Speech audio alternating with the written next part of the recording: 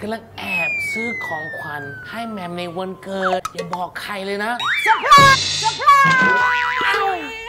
รู้ยังไงผมอยู่นี่ ป๋ามา Electrolux Home Inspiration Center ไม่รู้ได้ไง ผมให้เลือกหนึ่งชิ้น ชิ้นใหญ่ชิ้นเล็ก เอาอะไรชิ้นก็ใหญ่ได้ เลยชิ้นใหญ่เลยป๋าช่วงนี้หน้าร้อนด้วยขอเป็น air condition เอารุ่นนี้เลยแหม่มรุ่นนี้เป็นรุ่นใหม่เลย เพราะว่าเขาเคลือบด้วยโก Tech ช่วยกำจัดแบคทีเรีย